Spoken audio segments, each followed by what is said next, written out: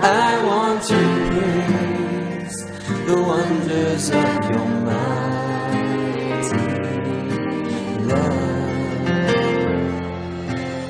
Faith is activated through continuous hearing of God's word. Hearing of God's word consistently helps you to pray, declaring God's will into your life. It will make you manifest to your world. Get set for an empowerment as the anointed man of God, Pastor Peter Balogun, expounds God's will for you be connected as you enjoy this timeless message.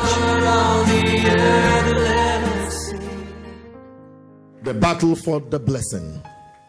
I'm reading from Genesis 25, verse 24 to 26. And when her days to be delivered were fulfilled. Let me make this prayer for someone here. That the days of the delivery of that blessing that you have longed for by the reason of tonight's meeting, the Lord will cause it to be fulfilled in Jesus' name. You won't wait endlessly for the fulfillment of that delivery. In the mighty name of Jesus. There are those that waited for the fulfillment of the day of their delivery and it never came for them. They waited all the years and it never came. They saw it from afar, but it was never a reality in their lifetime. I want to pray for you again tonight. If there are powers orchestrating around your blessing, if there are powers working around your blessings that have said they won't come to fruition in your own lifetime, on this ground tonight, the Lord will reduce them to zero in the name of Jesus. Every blessing you have seen from afar, the Lord will make it a reality in your life and in your lifetime in the name of Jesus. So the Bible says, and when our days to be delivered were fulfilled, behold, I love that word, behold, it was a surprise. It wasn't what people were expecting. He says, Behold, there were twins in a womb. Prior to this time, there had never been an occasion where a woman conceived and she was with the twins.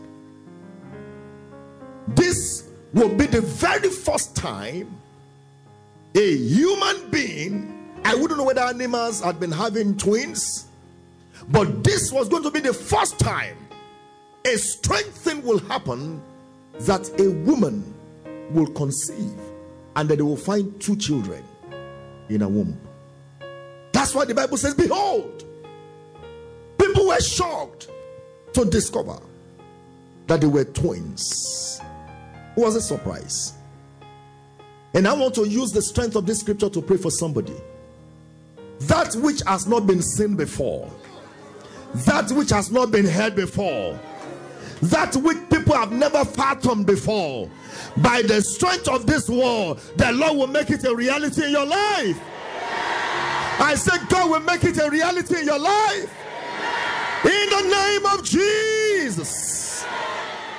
So the Bible says there were twins in a womb and the first came out red all over like an hairy garment and they called his name esau and after that came his brother out and his hand took hold on esau's heel usually when you are driving and you see red it sends an alert into your system that says to you stop usually red indicates an end so when that blessing came, it was like this is going to be the end.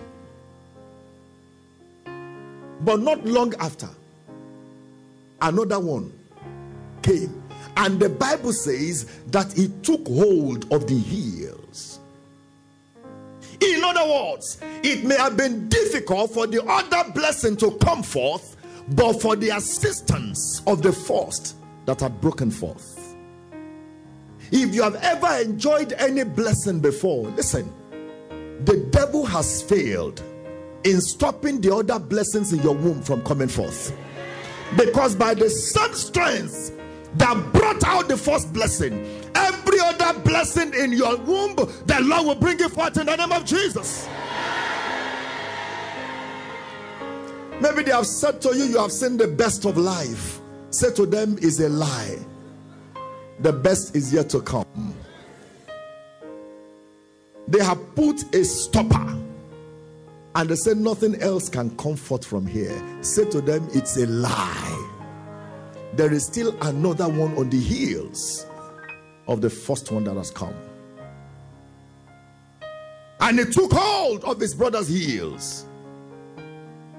And the Bible says, his name was called Jacob, and Isaac was three score years old when she bare them. Every blessing that the Lord have stored in the womb of people for your life, the strength they need to push out those blessings, the Lord will give to them in the name of Jesus. You need to understand that prayer. There are people that so much desire to help you, but they are incapacitated. They know what to do to help you, but they lack the strength to do it. But I'm praying for you tonight. At the end of this meeting, never again will it happen that you go to someone and the person will say, Oh, I would have loved to help you, but I don't have what it takes to help you. Everywhere you go in search for help, help will come for you in the name of Jesus.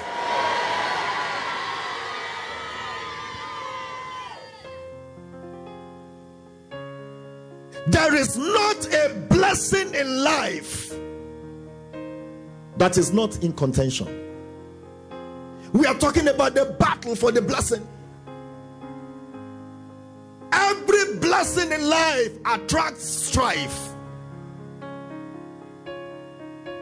The moment that thing is a blessing, look closely around it. There will be a strife, there will be contention. Everything that is a blessing.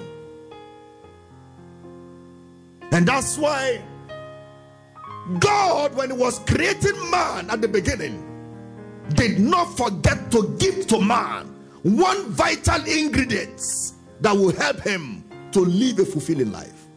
He gave to man dominion, He gave to man power. So that when contentions rise against the blessings of God for his life, he will take hold of the dominion and then get what belongs to him. Many of us we have struggled and we have not been able to break forth. You are looking at that blessing like this. Like Apostle Paul said, he said, A great and an effectual door is opened unto me, but there are many adversaries. You could see the blessing, but the, the adversaries around the blessings are just too many for you. There is the battle a man will fight by himself. There are battles God undertake for man. I pray for you tonight. The battles that have gone beyond what your strength can handle the Almighty God, the one who has positioned the blessings for you, will undertake for you in the mighty name of Jesus. I said, God will undertake for you in the name of Jesus. Believe me when I say to you that the battle for the blessing is real. Believe it. It's real. Oh. It is real. Right from the book of Genesis and until we get to the end of Revelation, everywhere you find a blessing, look around it.